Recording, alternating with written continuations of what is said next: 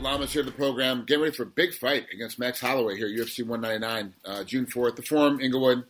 Um, it's actually going to be a great weekend of fights as far as the folks at home.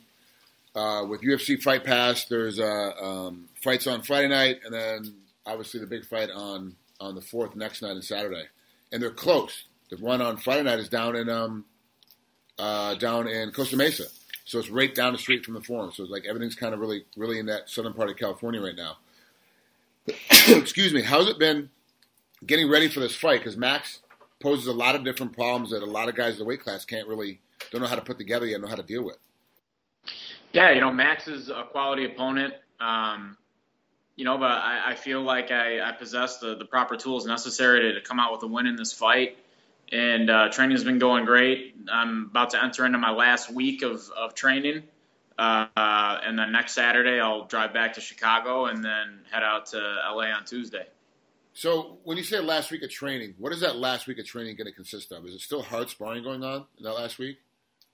I wouldn't say hard sparring, but there's still sparring. But you know, my my training partners have in mind that I have a fight in two weeks, so they're being we're we're being very cautious, very careful, and it's more more like just kind of going over all the game plan stuff during sparring and trying to implement it into my sparring. Having my my partners really emulate my opponent's style and and just work game plan. So you look at your records. Uh, you're 16 and four. He's 15 and three. So really close as far as amount of fights. But he's on an eight fight win streak, and he hasn't lost since 2013. And that last loss was to Conor McGregor. So we're talking about a long time, um, a young kid with a lot of confidence coming into this fight. Um, just because you know anybody gets on a five feet win streak, you know all of a sudden you're like you're untouchable, and all of a sudden you hit, you start hitting the six, seven, eight. You're like, I can't do any wrong kind of mentality when when you're uh, when you haven't been in the game um, and been pushed that hard. How do you think that that is going to equate into the fight? His confidence jumping into the fight. Well, I, am sure his confidence is going to be sky high, and uh, you know that's what I'm planning for. But if we're being honest, I don't think he's fought anybody like me with my wrestling caliber and with my overall caliber. You know, I'm very good at mixing everything up, and uh, I think I'm going to be, you know, pretty hard for him to handle. You know, you're uh, six and two in your last eight fights, and then you're like, I think you're uh, for seven and two you know, out of out of your last nine fights. So it's not like uh, you're you're too shabby yourself. I don't want you. To, I don't want anybody at home to think, oh, well, Ricardo's not up to the challenge, whatever. Um, but you battled uh, Chad Mendes. You battled uh, uh, Jose Aldo. Those are your two the two losses you've had in recent history, and you seem to always rise up to the challenge. You, you never. It's never a, a situation of of um, I'm just going to show up and get a paycheck which, which happens to a lot of fighters that they show up. I just need to get a paycheck this week. I'm just going to show up. You always rise up to the challenge. Do you actually have to rise up to the challenge for, for Holloway, or is this is this a challenge that is is a lateral move? It's not so much a step up in competition, like like a lot of the betting people think it is.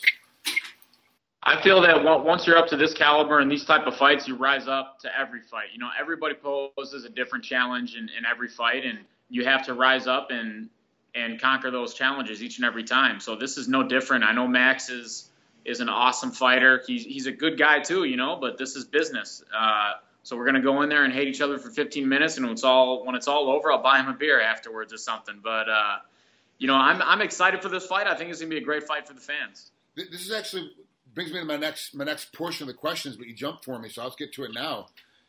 This fight is one of those fights that's getting slid underneath the carpet.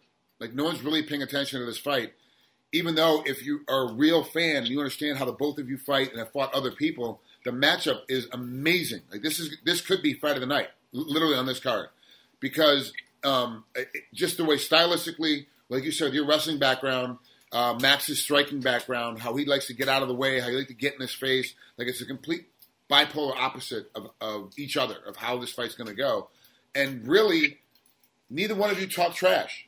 So as a result, it's not getting any hype because you're not going out there, I hate my guy. You just said yourself, to hate each other for 15 minutes. That's it. The only time we're not going to like each other is when the cage door is closed. And once the fight's over, I'll buy him a beer. Like, who cares? Like, we moved on. And he's the same way. So there's no hype on this fight at all. Um, do you feel like sometimes because, and we talked about this in the past, and it's getting even more apparent now. A lot of these fighters are getting main event, co-main event status.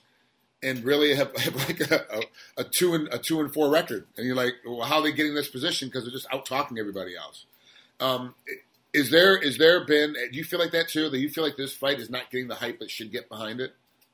I think that a lot of the true fans really are excited for this fight. I've I've had a lot of reaction on my social media to it, and I mean, hey man, these Hawaiians love to scrap, and Latinos like me love to fight too. So you know, this is this is gonna be a fight for everybody. So uh, you know, does, we don't we don't have to talk trash because the fight itself is gonna sell. Right, right, and I actually like that better than than all the trash talking. Even though I was, you know, one of the biggest trash talkers, but in hindsight, it's like just go out there and fight and be done with it. Let, let, let the fight be the action. Let the fight be the hype. And let the fans and your social media, let them hype it up. You know, you don't need to do it yourself because it just is what it is. Yeah. Um, did you have to change anything at all during this training camp to get ready to get ready for Max? Was anything that you had to like implement or, or pull out from your last training camp because of the style that Max brings? Um, not really, man. I, I really don't bring different people in. I don't fly guys in to, to imitate my my opponents or anything like that. Um, my camps were, were pretty much the same. I started in Illinois. I came down. I'm finishing in Miami. Same training partners. Uh, you know, I just really have a lot of faith in my coaches, and and they kind of they they'll sit there and watch the tape. They'll watch his fights, and then they'll train me accordingly in our mid sessions and in sparring. Also, they'll be telling me, you know, he does this and this. So watch out for that, and and try and do this. So. Um, I really let my my corners uh, kind of play the game. You know, I'm like a video game out there. What they what they what they say, I listen, I I uh, acknowledge it, and then I do it. So uh, I have a lot of faith in my team, and I think uh, we're gonna you know bring it home. How, how long is that drive going from Miami back up to Chicago? Uh, nonstop. It should be around 20, 22 hours. So are you going to stop on the way up, or are you just going to keep you know, drive straight through?